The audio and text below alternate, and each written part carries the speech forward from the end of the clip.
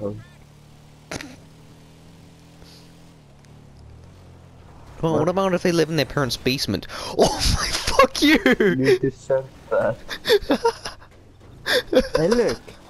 that was so unlucky. Fuck you. Please proceed before me. Oh, fuck.